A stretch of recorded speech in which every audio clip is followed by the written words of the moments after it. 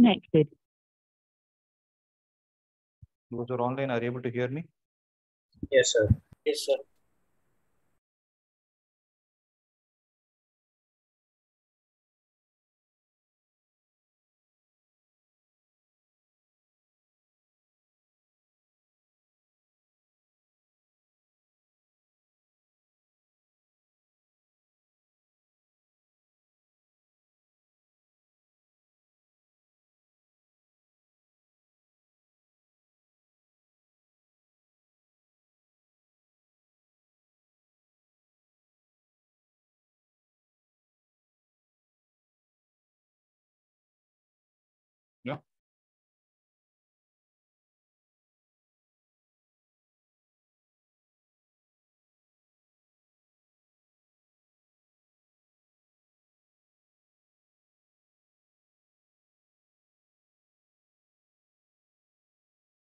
Yes.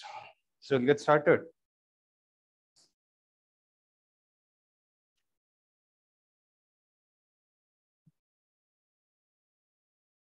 So any questions from yesterday's class? Did you all revise everything? Can I ask questions? Yes? Okay. So Chitesh, we'll start with you. Neither confident at. Okay, we'll start with you. So can you tell me what is the difference between calculating slope and area for a graph?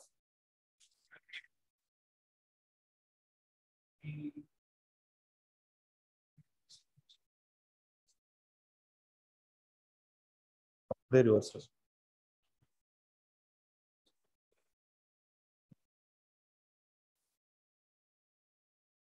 But what did you say? Matamada Sakshi. I don't. Yes. So that is basically, yeah, you do this. I'll, I'll slightly go in depth today of how to use it. Okay. That is one thing. Sai Shankar, can we? Okay. Can you tell me what are the three types of classifications we did for uh, motion? On basis of what three categories we classified motion? What was the first classification based on? Apakada. Based on direction. Based on direction, I classified into three types. What are they? One dimension, two dimension, and three dimension. So one dimension is a line, two dimension is going to be a plane, and three dimension is going to be space. Right. So what is the second type of classification did? Based on how the distance in yeah, based on how the change in position is taking place. So based on change in position, can you uh, Akhil, can you tell me? Uniform and Okay, uniform, you can also call it as regular for us, for our understanding. So what happens there? In uniform motion, what happens? There is a equal distances are covered in equal intervals of time. By doing so, what is achieved? Speed and velocity are constant. At the same time, acceleration is a zero, right? What about non-uniform motion? So unequal distances are covered in equal intervals of right? There what happens? Speed and velocity are not constant due to which there is acceleration present. Acceleration is present. It's a non-zero value, right? What is the third type of classification that we saw? So we saw based on acceleration. Based on acceleration, again, there are two types of classifications. What are they? Uniformly accelerated motion and non-uniformly accelerated motion. So uniformly accelerated motion, what happens? obviously acceleration is going to be a constant. Rate of change of acceleration is going to be a. I'll confuse you like this one later. Pay attention. That is right. So when acceleration is constant, the rate of change of acceleration is going to be a zero. Okay. So what about uh, the other case? Non-uniform acceleration. Acceleration is not a constant. So rate of change of acceleration is also not going to be a zero it is going to exist. Okay, it's going to be a non-zero number. Then we started with the concept of graphs, right? So when we saw the graph, I told you one important point. Whenever you draw a graph, right, what is the analysis that you need to do? Y-axis always con is confined to dependent variable and x-axis is confined to independent variable. In physics, what is the independent variable?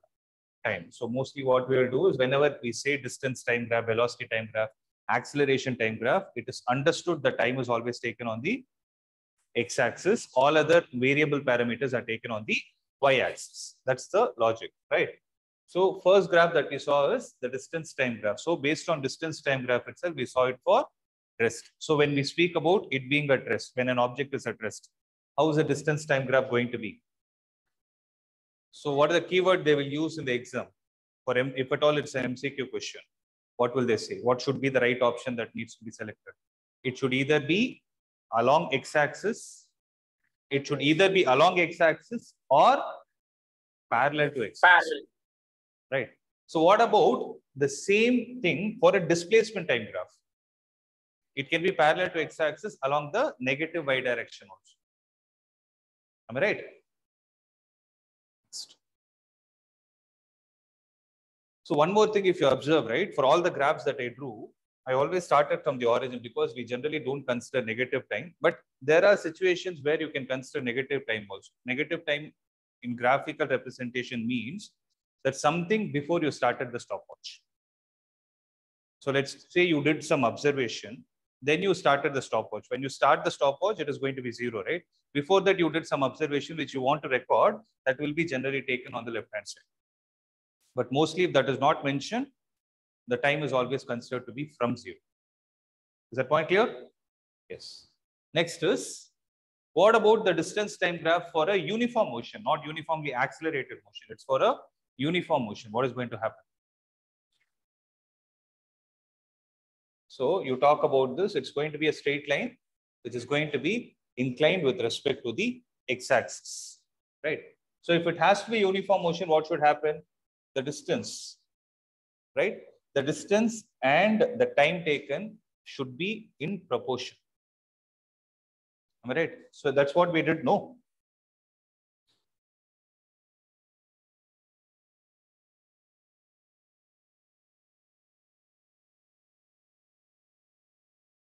I think that is what we did. So if you observe the distance and the time are in proportion. So one second, five meters or five units, whatever it is, two seconds, 10, three seconds, 15. It's a multiplication factor, right?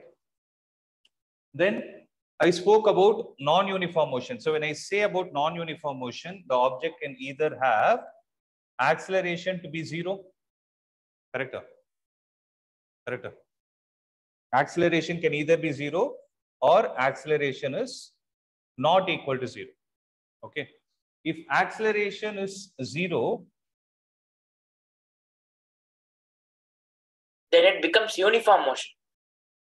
is there a possibility of acceleration being zero? So I'm sorry, this is wrong. No, sir. So acceleration is not equal to zero. But when acceleration is not equal to zero, again, you can say acceleration is constant or acceleration is going to be a variable. Depending on that, again, we can break the graph into two different parts. Okay. So what I will do is observe. So if I draw the displacement time graph for non-uniform motion. So when I say non-uniform motion, acceleration is not equal to zero. If that's the case, then there is a possibility where acceleration is a constant or acceleration is variable. Right. So when acceleration is constant and you want to draw the displacement time graph, where displacement is going to be s and time is going to be t, then the graph will take this kind of a shape. How this has come, I'll tell you later. After you see the derivation, you will understand why the graph is taken like this. This kind of a shape is called as parabola, which you have already learned in your 10th grade. Where did you learn parabola in your 10th grade? Quadratic equations or polynomials also, right? So which polynomial or a quadratic, sorry, which polynomial will represent the, will take the shape of a parabola? Quadratic polynomial. So the degree is supposed to be 2. So have that in your mind. That point I'll relate it here. It's a parabola. To be more specific, it can be called as an upward parabola because it's in the upward direction. It's actually half of the parabola. You're able to understand it is symmetrical in the other direction as well. That part is not existing because I told no time generally we don't take it as negative. That's why the graph is in this way.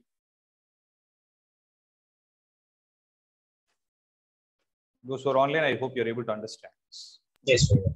Yes, sir. Yeah, can someone speak? I'm not able to hear. Hello, sir. Can you hear me? Yeah, yeah, yeah.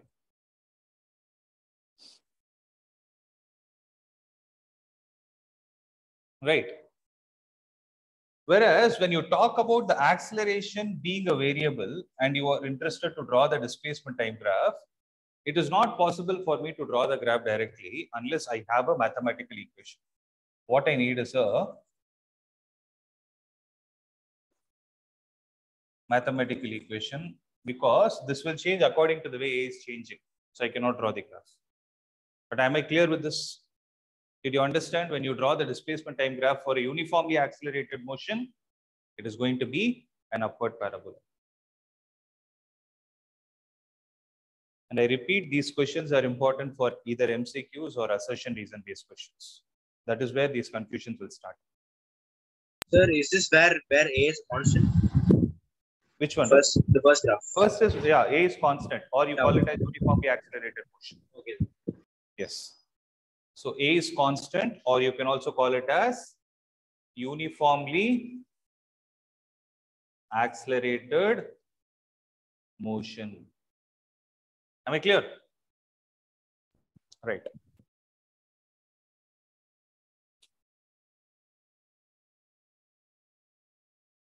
Shall I proceed? So obviously, since we saw the variation of displacement with respect to time, next that we are going to see is velocity time graph. So I'll call it as VT graph. Okay. So where the velocity is taken here, time is taken here. So obviously, you can either talk about rest or motion. So first we'll start with rest. So if I have to draw the velocity time graph for rest, then how is the graph going to be? At rest means what is the mathematical value of V? Zero. So where should the graph be confined to? It should only be on the x-axis, unlike the displacement time graph. Why?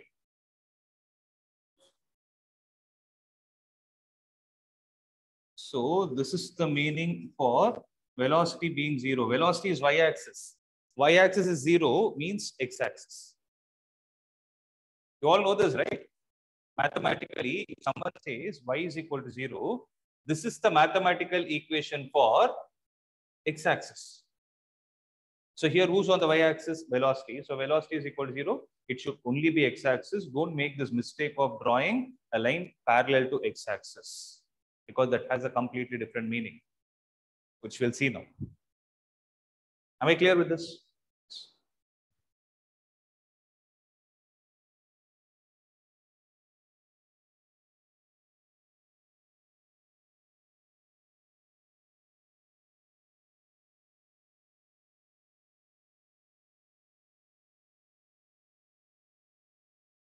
So the next part, I'm going to talk about motion. So when I talk about this motion part, I'm going to talk about uniform and non-uniform.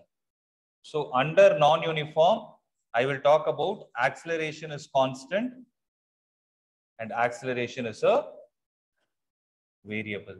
Okay. So th these are the order. This is the order in which we are supposed to draw the graphs. So first, let me talk about the velocity time graph for an object in motion, which is uniform. So when it has uniform motion, what can you conclude about velocity? Velocity is constant. So velocity is going to be a constant. When it is a constant, then what will happen is you will have the graph parallel to x-axis. So this is the reason I told you that don't draw the graph parallel to x-axis unlike what we did in the case of displacement time graph. So here it means that the velocity is constant.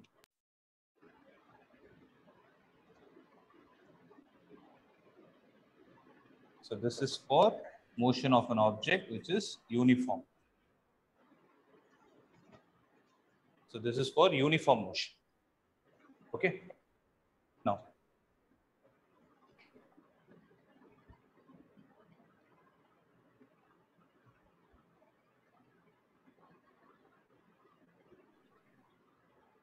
shall I proceed? Next question is for non-uniform motion, comma, acceleration is uniform. Means acceleration is constant.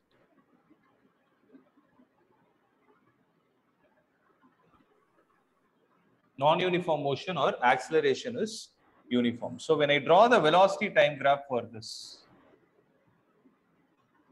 so when I say non-uniform motion, there is a possibility where velocity is changing. Right.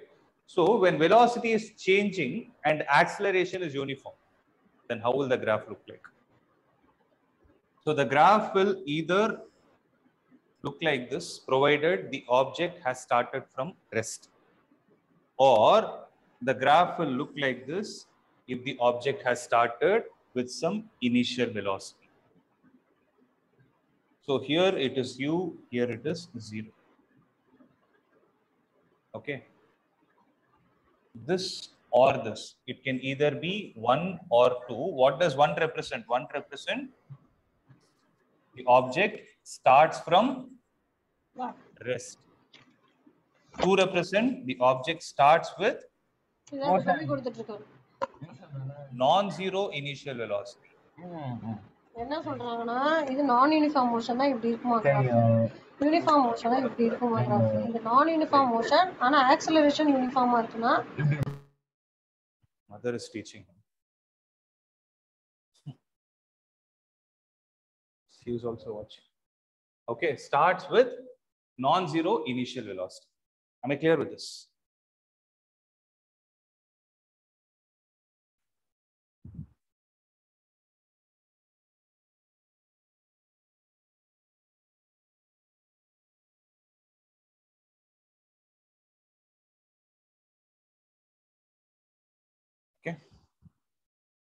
So here, I would like to stress on one point.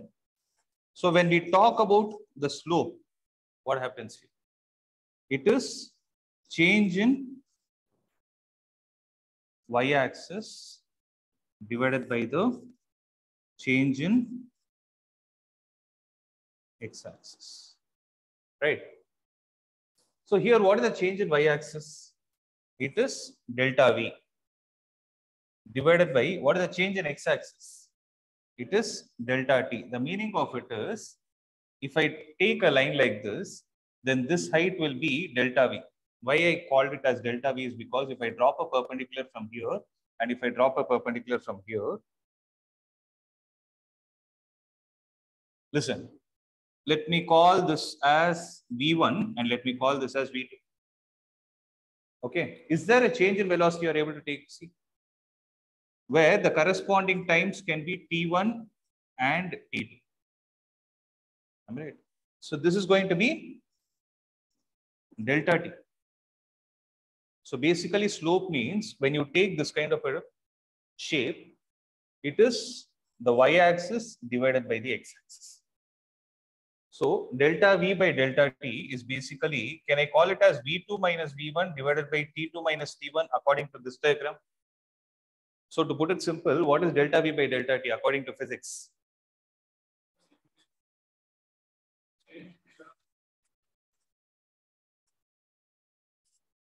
It is acceleration. So meaning, whenever they give you a velocity time graph and they ask you to calculate the slope, see, very simple, okay? Slope is a mathematical term. For every mathematical term, there will be a corresponding physics term.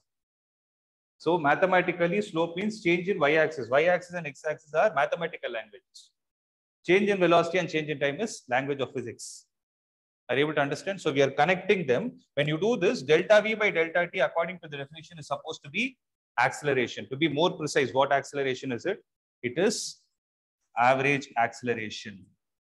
Am I clear with this?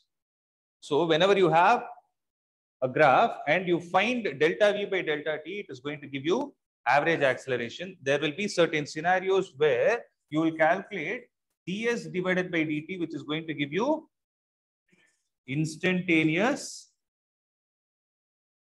acceleration. Am I clear with this? Am I clear? Okay. So Is keep it- noting it down. Is it, is it not is it not dv? Oh, again, I made the same mistake. Okay. It is dv by dt. Okay, I'll just be back.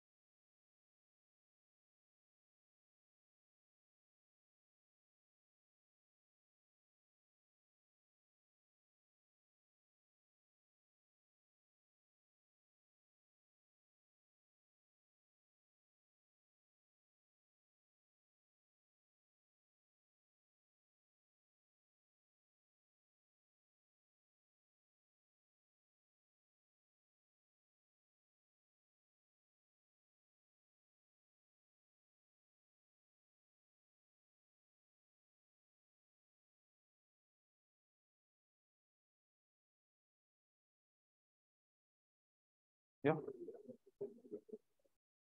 So shall we proceed? So this is all about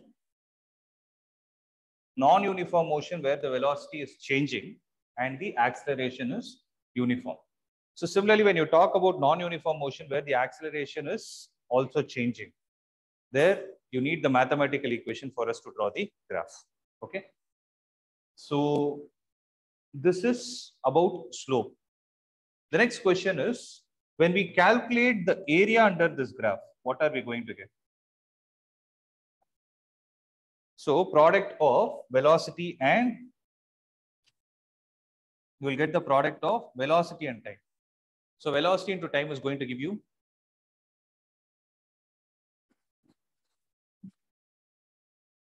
displacement, meaning whenever they give you the velocity time graph and ask you to calculate the area under the graph, indirectly what are they asking you to calculate according to physics?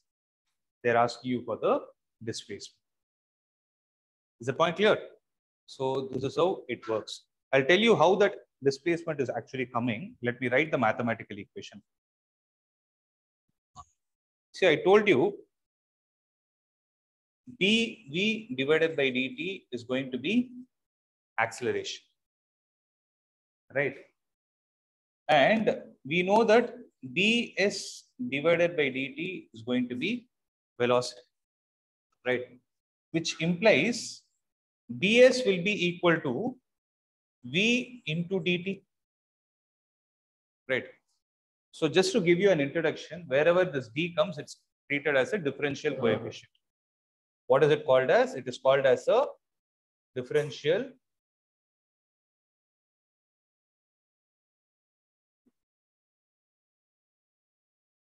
coefficient. So ds is equal to vdt. Whenever you want to remove this ds, all that you need to do is the reverse operation, which is integration. So when you integrate on both the sides, integral of ds is equal to integral of v into dt. Observe, v is velocity, t is time. So y-axis into x-axis, product of this integrator will give you the area. So the meaning of this is called as, Sir, I can't, I can't hear you. sorry, I can't hear you. Sir. you're not able to see.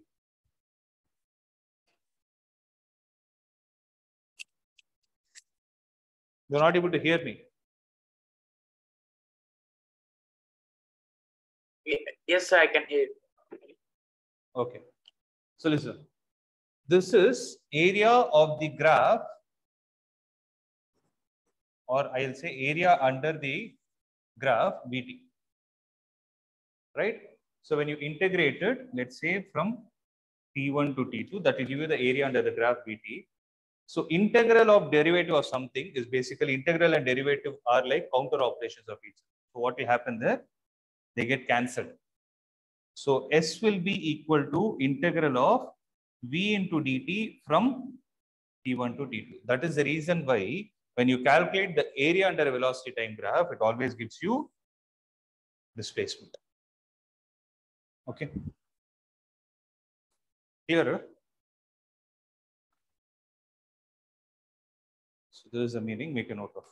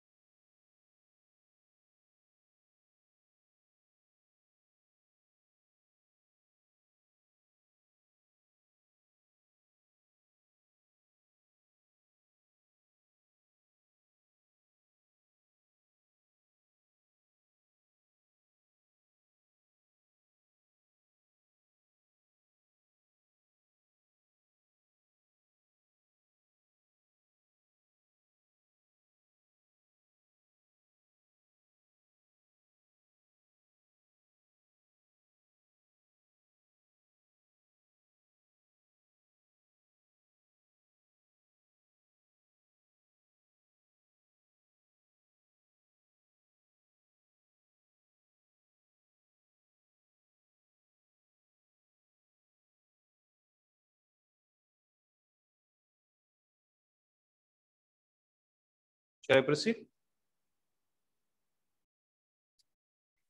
Yes, sir. Okay. So what would be the last category that we are going to see? Obviously, we saw displacement time, we saw velocity time. The last category is going to be acceleration time graphs. So what will be the name that you can give to them? You call it as AT graph, right? So the first category is going to be for rest. So when you talk about the acceleration time graph for an object which is at rest, how is the graph going to be? It's very obvious. So for an object at rest, velocity is zero. Velocity is zero, acceleration is also zero. So it is going to be confined along the x direction. Because acceleration is going to be a zero. And this is going to happen when the object is at rest.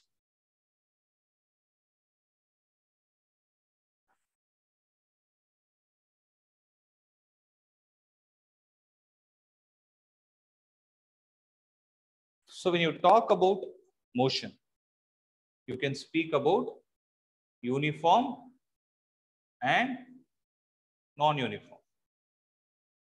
So uniform and non-uniform are further subclassified into, sorry, non-uniform motion is further subclassified into, so acceleration being constant or acceleration is not a constant, it's a variable, right? So first we'll see for motion which is uniform. So for the motion which is uniform, how will the acceleration time graph look like? So when the motion is uniform, recollect it from the beginning. Displacement is going to be a constant. What about velocity? That is also a constant. What about acceleration? It is zero. For uniform motion, there is no acceleration. No. For uniform motion, acceleration is zero, meaning the graph for acceleration time will be confined to x-axis in two scenarios. When is it? When the object is either at rest or when the object is having a uniform motion. Is the point clear? So this is also going to be for uniform motion. Am I clear with this? Yes?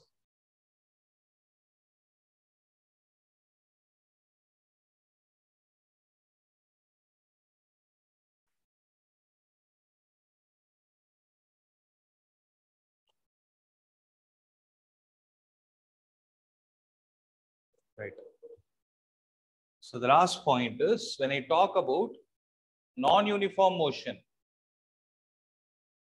when I say acceleration is a constant, then how is the graph supposed to look like?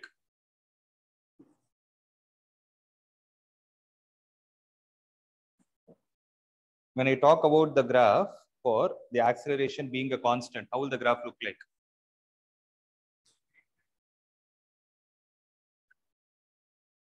So it'll be a straight line inclined to x-axis, but that's a mistake we make.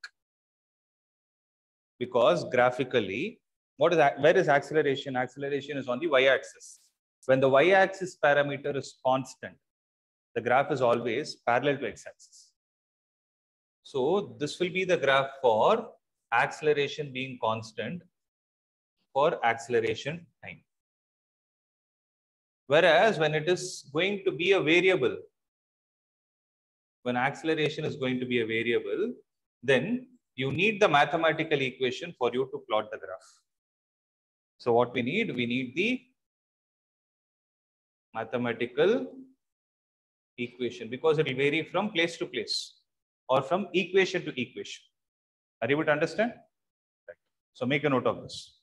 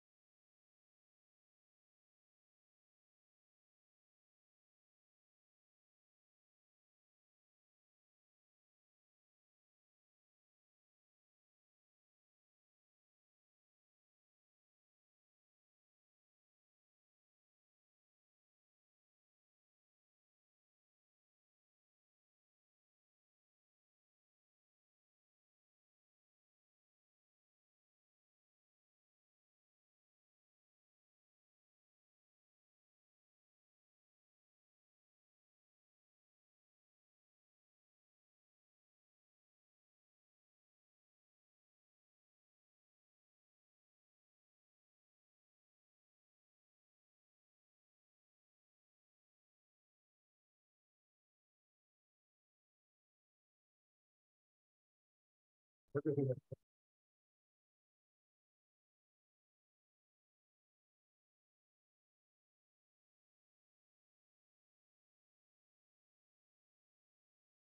Sir நான் class முடிச்சுட்டு நான் காலையில கால் பண்ணுறேன்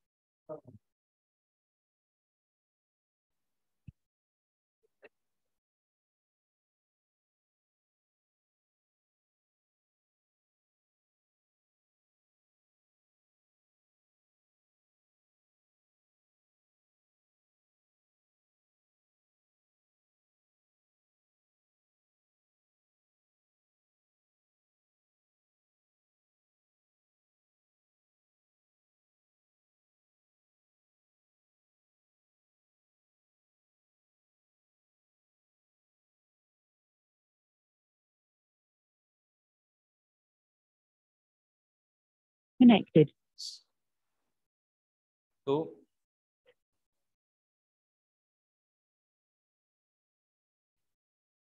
So with this, uh, we have completed the basics that are needed for us to understand the derivations. Okay. So the next concept that we are going to see is derivations of something called as equations of motion. So this is a concept which you have already learned in your lower grades. Right. There are three equations of motion. You would have learned this. So we are going to see the concept of derivations of equations of motion when the acceleration is a constant. So when the acceleration is kept a constant, kept as a constant, then how are we going to derive this? Okay.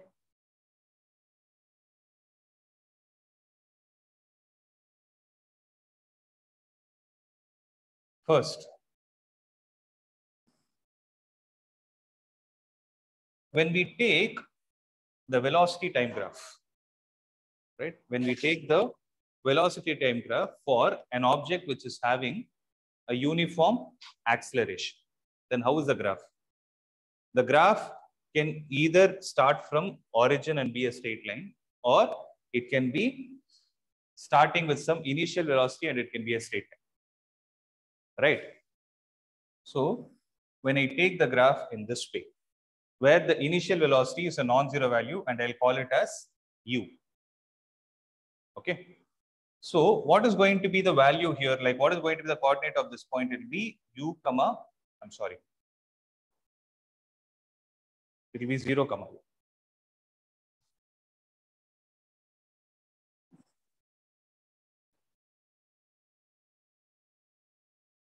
So what is going to be the coordinate of this point? It will be 0 comma u, meaning time is 0, the initial velocity is u. Okay. Let me take another value here as t comma v. Okay, I'll take it as t comma v. Means at some instant, at some time t comma 0, the corresponding velocity is going to be 0 comma v. So the intersection of these two perpendicular lines is going to give me t comma v, right? So I'm going to see the first equation of motion. So the first equation of motion here is defined with respect to finding the slope of this line. So what is the slope of this line? It is change in velocity divided by the change in time. So basically it is v minus u. When I say change in velocity, it is the change in the final minus the initial. So v minus u divided by t minus 0. Accepted? So this value, I will call it as a because the change in velocity with respect to time is acceleration, which implies v minus u divided by t is going to be a v is equal to u plus at. So basically what happens here, t will go to the other side, it become at. So v will be equal to u plus at, which is the first equation of motion.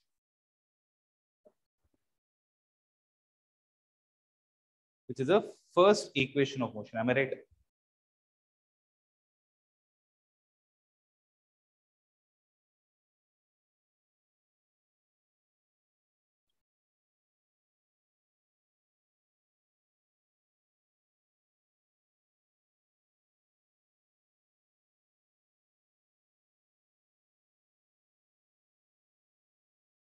Right. Now the next point is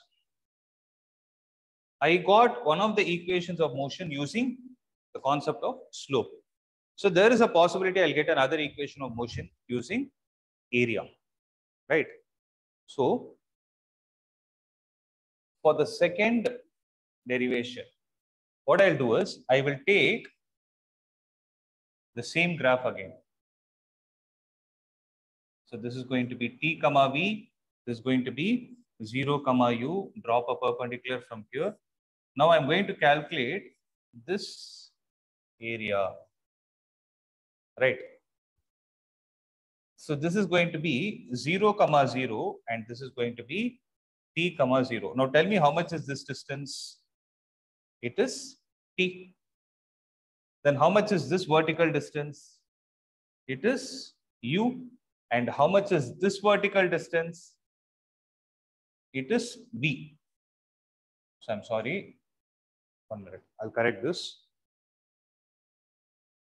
Sir, can you can you go to the previous sequence? Yeah, yeah, one minute. One minute. Hmm. Tell me. Yeah, that's sir.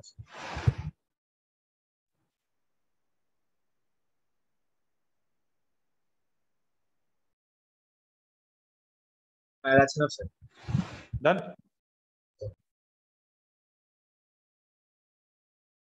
Okay. Then, how much is this vertical height going to be? It is going to be V. Am I right? So, if I take this to be O, A, B, and C, what shape does OABC as a figure take? Like, what shape is it taking? It's taking the shape of a trapezium. So what is going to be the area of trapezium?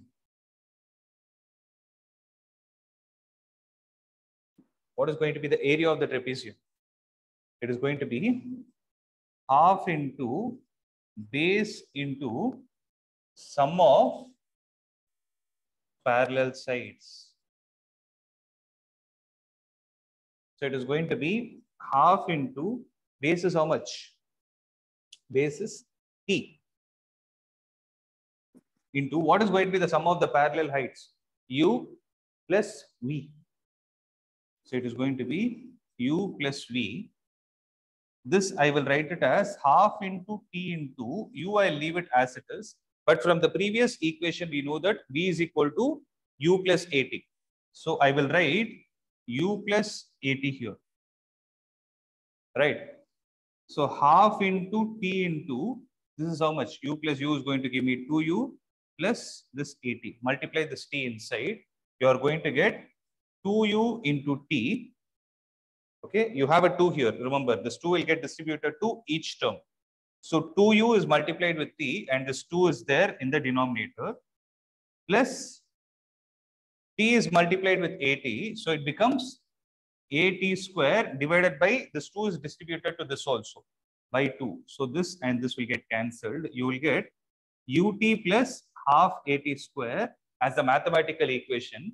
But according to physics, the area under a velocity time graph is going to give you displacement.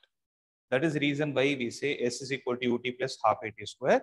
And most importantly, what you need to remember is this equation or for that matter all the equations that we are going to derive is applicable only when the acceleration is constant. If in a question the acceleration is not a constant you are not allowed to apply these equations. Am i clear with this? Right? So make a note of it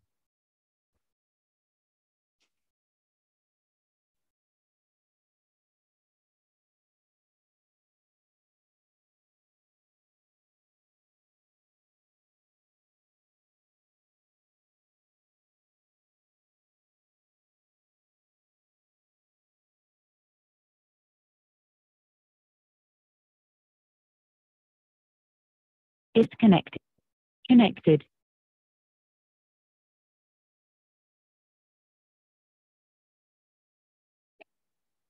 Disconnected.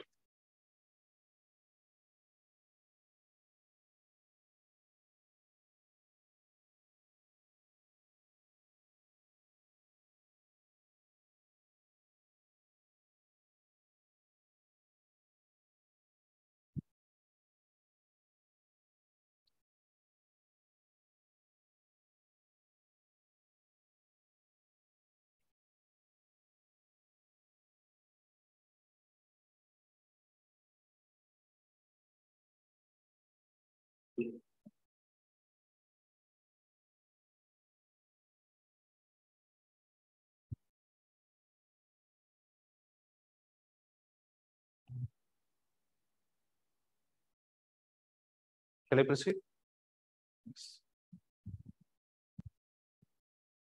So if you look at the third equation, again, I'm going to take the same graph. Zero comma u, t comma v, drop a perpendicular from here. This height is going to be v, this is t. This distance is also t, this point is t comma 0 and this point is 0 comma 0. This point is O, A, B, C. Now again, I know that the area of trapezium OABC is equal to half into base, which is T into sum of the parallel sides, which is U plus V. Am I right? So that's what we wrote in the previous case also. So that is the equation we have written half into T into U plus V. Right. Now the only difference is in the previous derivation, when we wrote a substitution for V, I wrote V in terms of U plus AT. Now I'm going to substitute T in terms of U and A, U, V and A. Okay, so how is that possible? We know that V is equal to U plus AT, then what is T equal to? V minus U, the whole divided by A. So let me take this as the first equation, this as the second equation. Using second in first, what do we get? Half into V minus U divided by A, the whole multiplied with U plus V or V plus U? Both are same. So A minus B into A plus B. So you're going to get A square minus B square, the whole divided by 2 into A. So what is this equation equal to? It is the area under the velocity time graph. So this is obviously equal to displacement. So when you rearrange the equation, you get V square minus U square is equal to 2AS. This is the third equation of motion for a uniformly accelerated object. Clear? Make a note of this.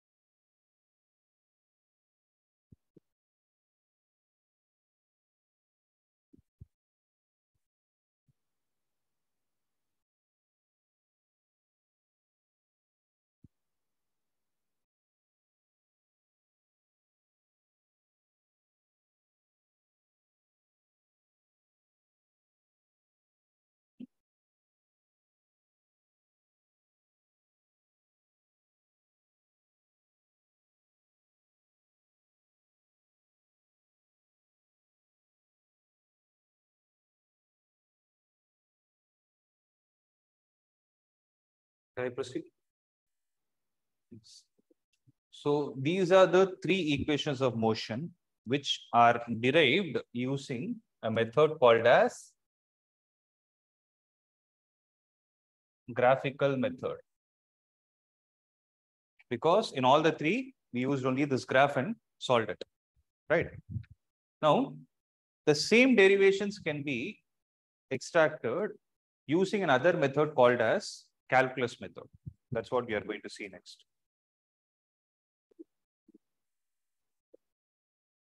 So we are going to see the derivations using calculus. We are going to use the derivation. Sorry, we are going to use the calculus to derive the equations of motion.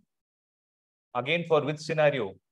For uniformly accelerated motion.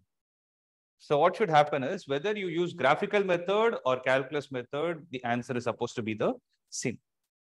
Okay. So before I proceed, I would like to confirm one thing. I asked you to go through the integration formula and come. Did you all go through it? So you know what is the formula? Right, just to recollect, can you tell me? What is going, what is the formula I asked you to go through? X power n dx. So how much is it? It is, X to the power n minus one divided by n minus, see, n plus one, it is n plus one. ra. plus plus. x power n plus 1 divided by n plus 1 plus you will have a c here. Right. See, for example, if the question is like this, integral of x square dx from 0 to 5. So We what are don't the- need C.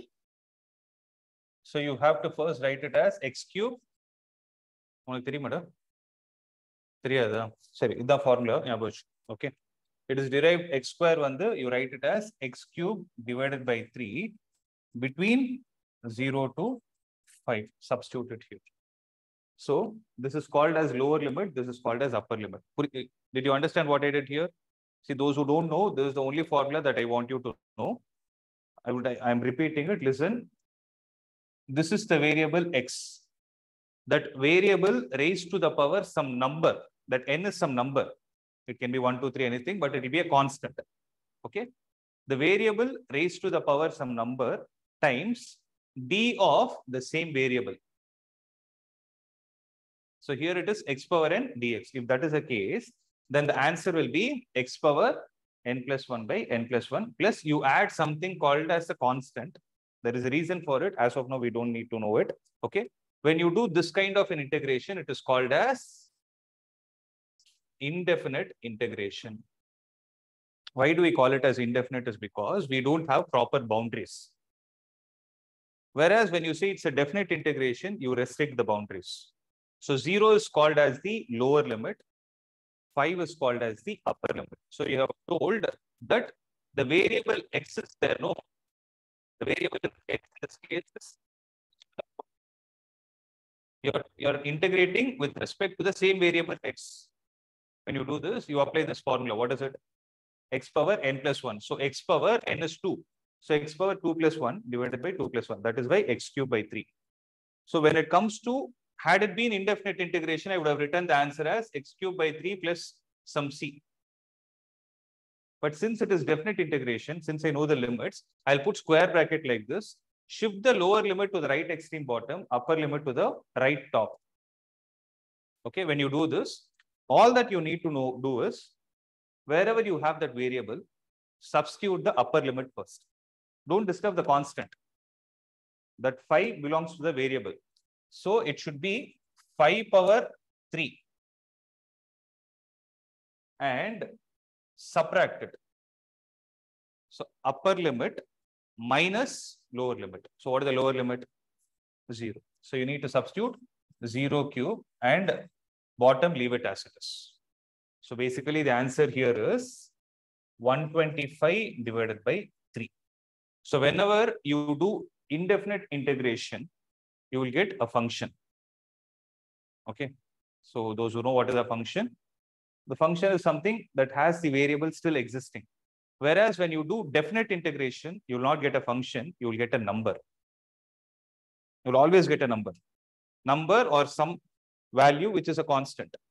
Okay, that number has a significance. It basically represents area made by, listen to this carefully, area made by this x square, area made by x square with respect to x axis.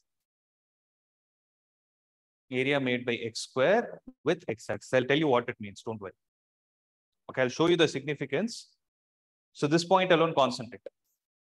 Okay, so I'll give you time to write. Is this clear? Is this point clear? Okay, listen to me first. So if I say integral of x dx, okay, I'm saying between 0 to 1. What will the answer be? Chitesh, can you try? Use that formula.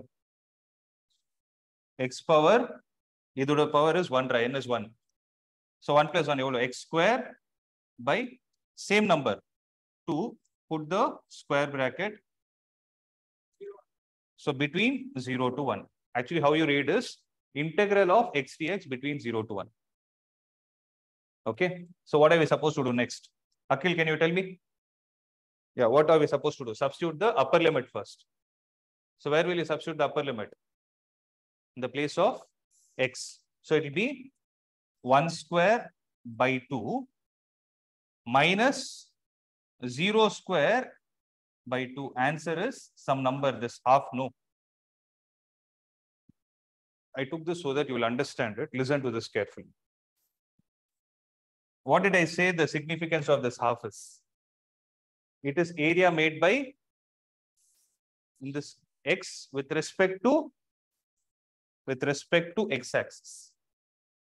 Okay, meaning of it is, see, um, the basic graph for y is equal to x is going to be a straight line like this. It will exactly make 45 degrees with the x-axis. If not, you will learn it in your function also. So actually, it will be a graph like this. This is y is equal to x. Okay, listen. This is the lower limit. So the lower limit and upper limit correspond to x coordinate. The 0 and 1 correspond to the x coordinate. Okay, so if I take 1 comma, sorry, if I take 1 comma 0 here, okay, if I drop a perpendicular from here, listen, wait.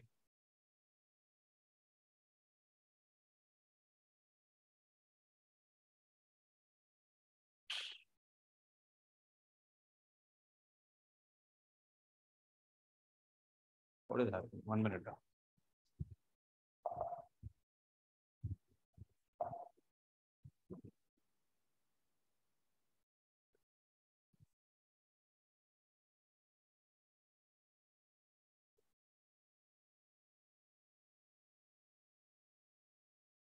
Who shouted, no? So if I take this as 1 comma 0, right? See, this is 1 comma 0. What will this coordinate be? This will be 1 comma. You will take this 1 and substitute it in the place of x. So how much will you get? You will get 1. So how much is this height? This height is 1. This distance is 1. So if I ask you to calculate this area, what shape is it taking? It's taking the shape of a right angle triangle. So half into base is 1 into height is 1. You get the answer as half. This half and this half are same. Are you able to understand what I'm saying? So that is the meaning of definite integration. So to connect the dots, what I mean here is in the previous case, I took this x square, right? So y is equal to x square is basically an upward parabola like this. You learn all these things, don't worry in your math, but as of now, accept it. So this is going to be the graph. This is 0, comma 0. What were the limits I took? 0 to 5. So if I take 5, comma 0 here, I'll drop a line like this. Then I'm getting an area which this curve is making with x-axis. The area of that curve will exactly be 125 by 3 square units.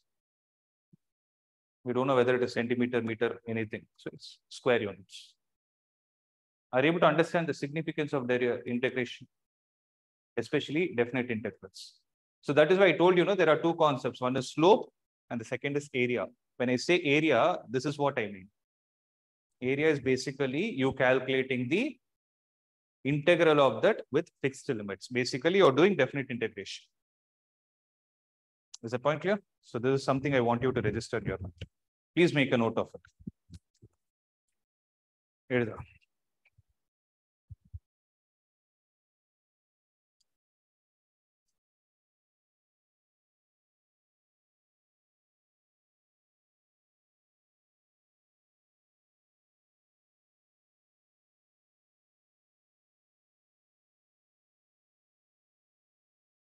Uh, ஓடுது பாருங்க பொதுவாக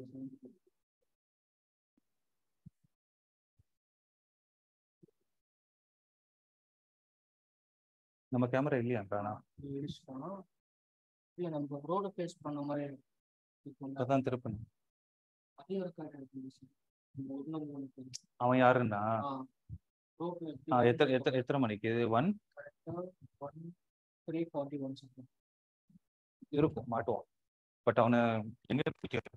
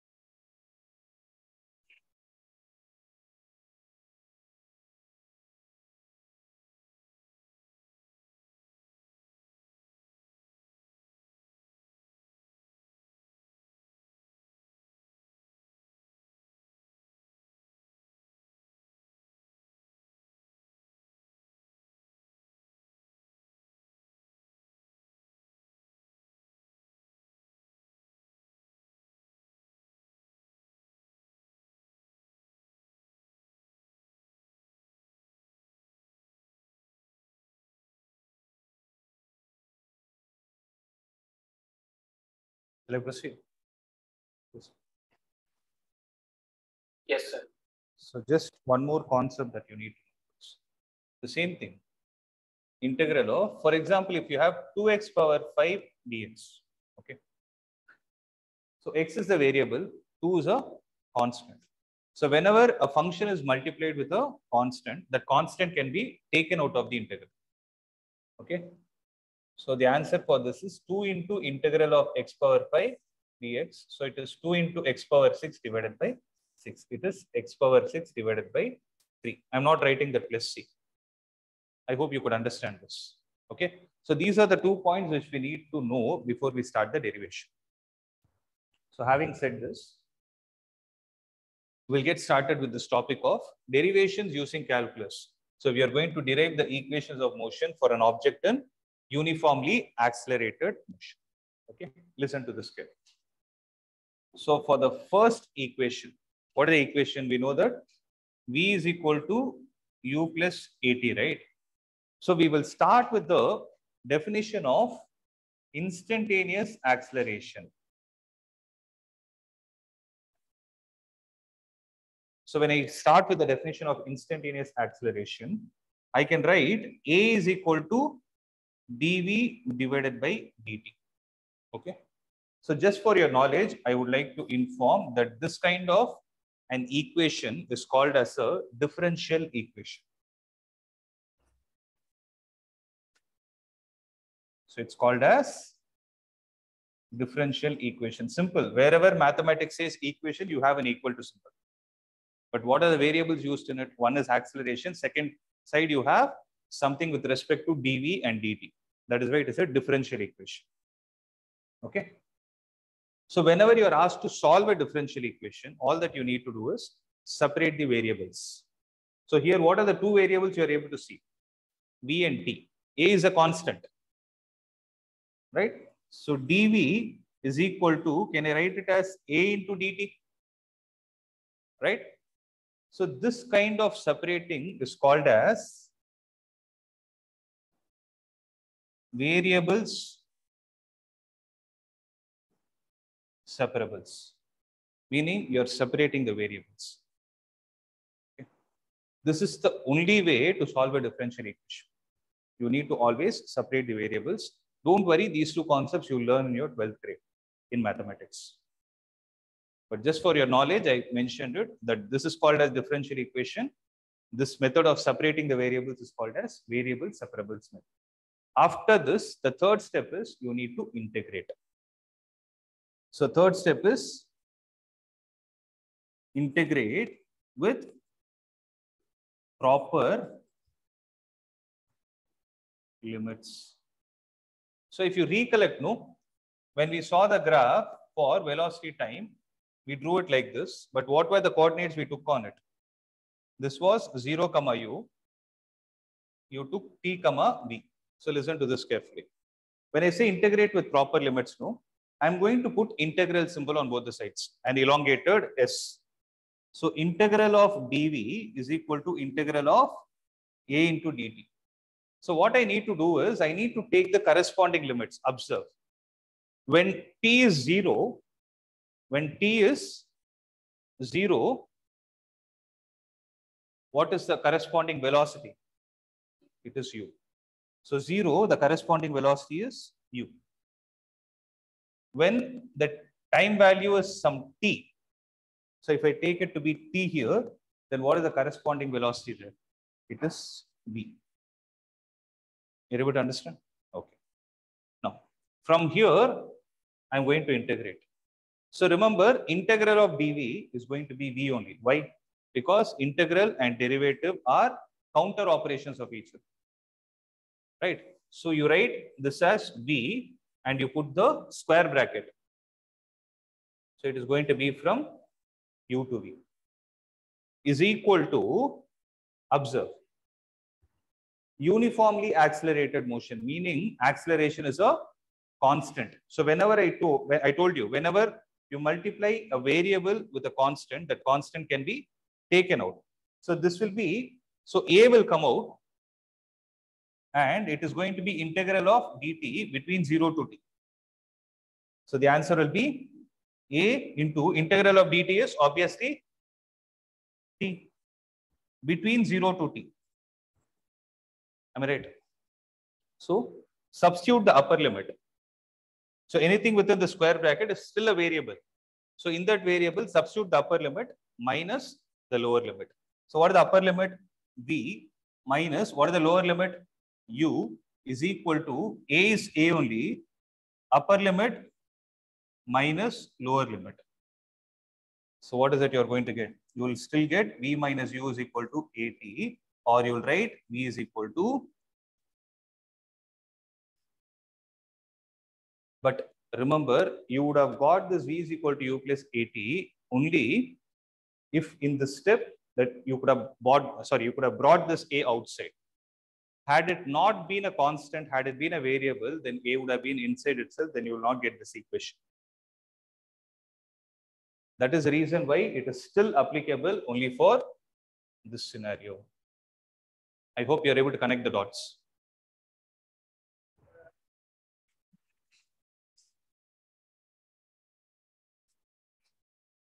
Uh-huh. Because A is not T.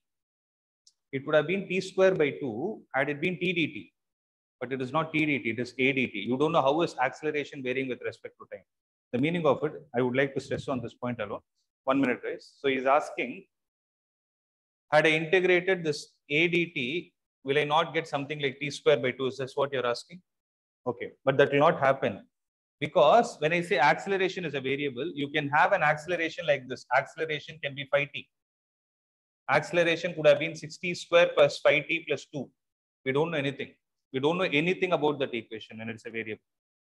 That is why when you observe, I didn't draw the graph for acceleration being variable. I told you, no, this equation is needed for us to solve. Are you able to understand? So make a note of this.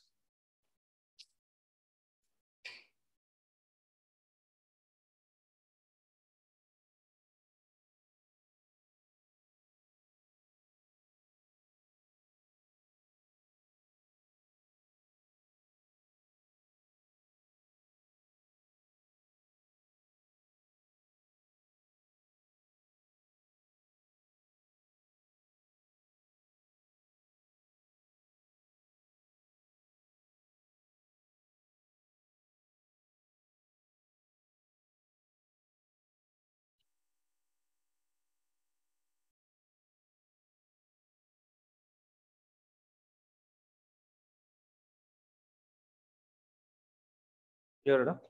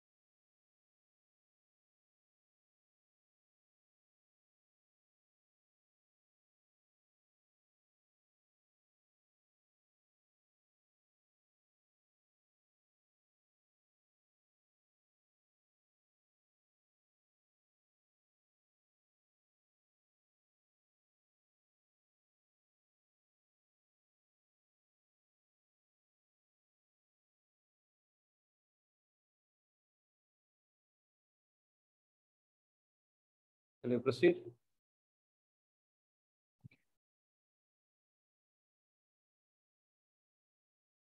Yes. So for the second equation, I will write the definition of. So we know that d is equal to ds divided by dt. Right? So this is the differential equation. So which implies ds will be equal to ddt. Right? But we also know that p is equal to u plus at. So take this as substituted. When you do this, you will get ds is equal to u plus at into dt. Right? u plus at into dt. Where you can integrate on both the sides with proper limits.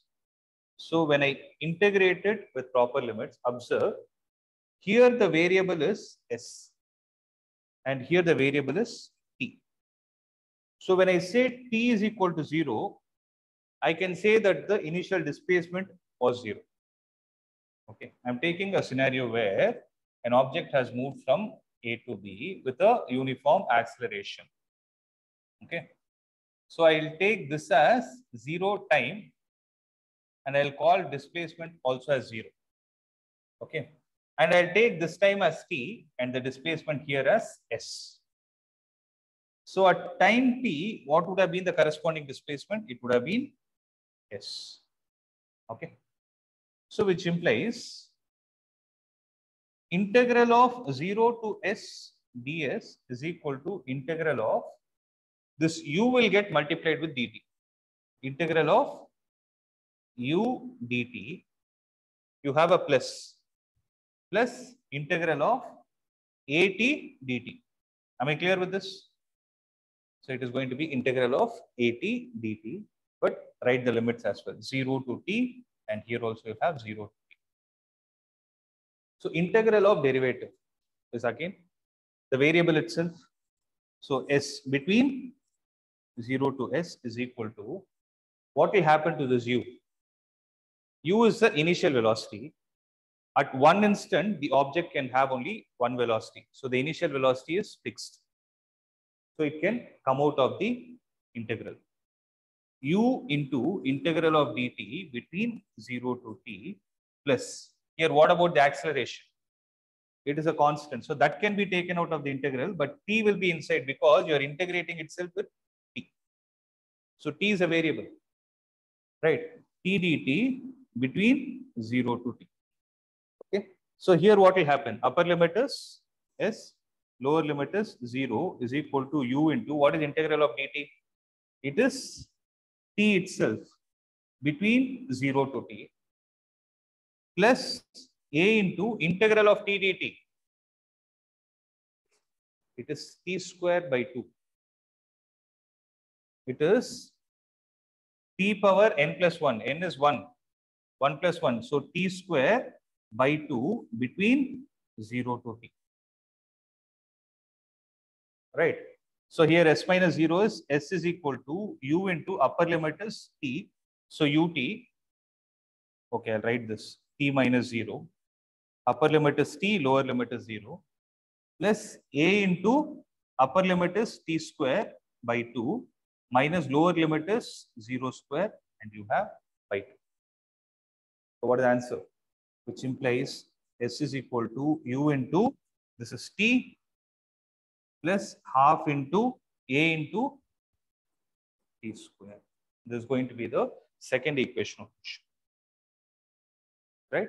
So you can derive it using either graphical method or calculus. So please make a note of it.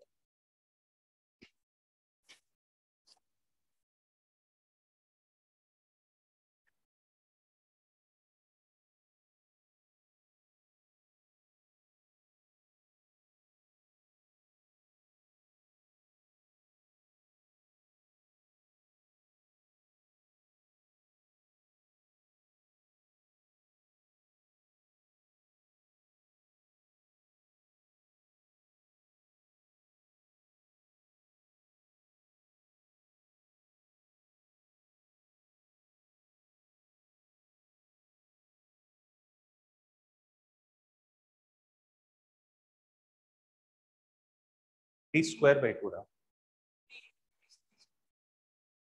Where is t into this t? அப்படி பண்ணக்கூடாது integration பண்ணும்போது you should tell what is the variable என்னன்னா பாரு integral of t doesn't make sense integral of t with respect to whom with respect to t so இது dt ன்றது it is telling you that you need to integrate time with respect to so அதனால don't multiply that that is wrong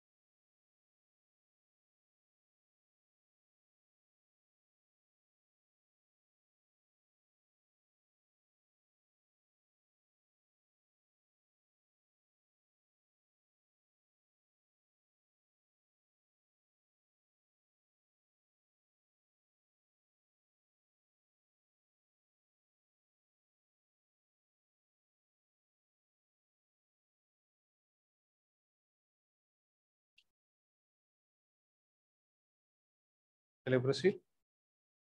One last derivation. Do six, but okay. It'll take five minutes. We'll finish this. So if you look at the third derivation, for third derivation, we will say that A is equal to dV divided by dt. But we already know the equation. What is it? It is V square minus U square is equal to 2as. If you observe, it is a time independent equation. There is no time involved in it. But here in the definition of acceleration, we have time. So what I will do here is, I will write this as dv divided by ds into ds divided by dt. So whenever I place a dot, it means into. Okay. So dv by ds is nothing. Whereas ds by dt is velocity. It is velocity. So this can be replaced with velocity. Am I right? So A will be equal to dv by ds into velocity. So V will get integrated with respect to dV. And for A, I will take ds to the other side. So which implies V into dV, V into dV is equal to A into ds. Tell me among this, in this equation, which are variables? V is a variable because final velocity keeps changing with respect to distance and time. Whereas acceleration is a constant, right? So when I integrate on both the sides, right hand side, I need to take the I need to take the limits of displacement. If I say, see, it's all as simple, okay? Initial, final. If I say that the initial displacement is zero, for the initial displacement zero, there was some initial velocity existing. What was that? It was u. You remember the graph? Right? Initially, there was a velocity u that was existing. When the final displacement is s, let's say the velocity is b. So what is integral of v dv? Integral of v dv is v square by 2 between u to v is equal to, see here, I'll do one thing. I'll take this a outside because it's a constant. a into integral of ds between 0 to s. Now what is the integral here? a is outside. What is the integral of ds? It is just s between 0 to s. So substitute the upper limit v square by 2 minus when you substitute the lower limit you get u square by 2 is equal to a into upper limit is s lower limit is 0. So which implies v square minus u square by 2 is equal to a into s. So which implies v square minus u square is 2as. So this is the third equation of motion.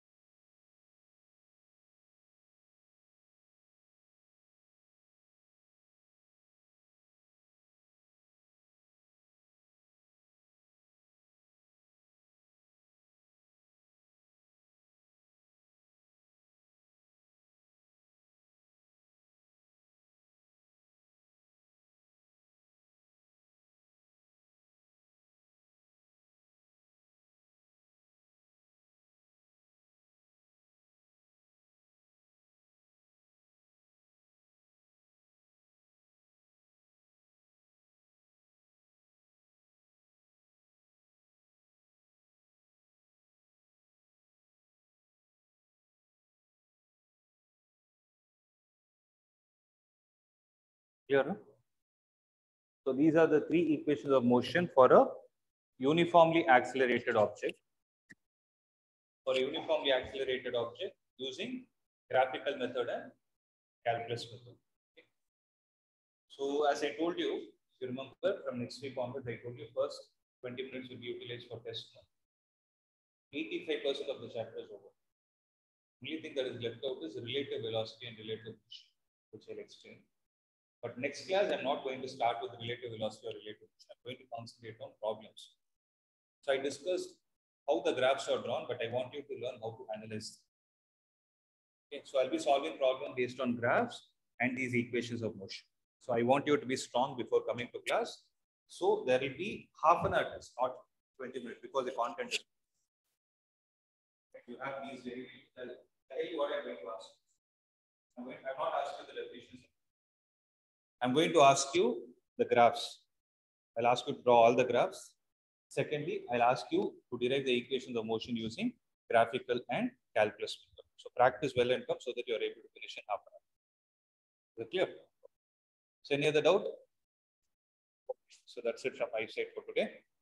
We'll see in the next class.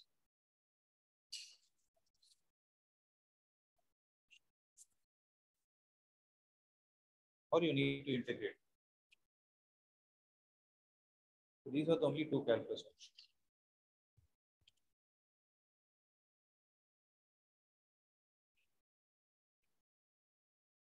Yeah, those are online, we can wind up.